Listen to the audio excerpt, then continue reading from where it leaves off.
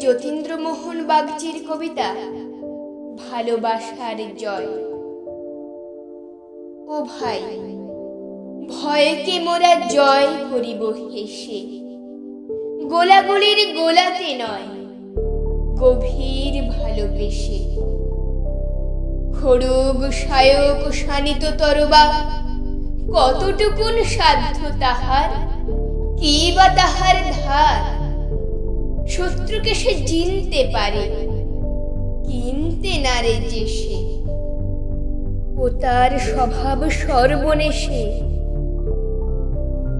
ভালোবাসায় ভুবন করে জয়। সক্ষে তাহার অশ্রু জলে, শত্রু মিত্র হয়।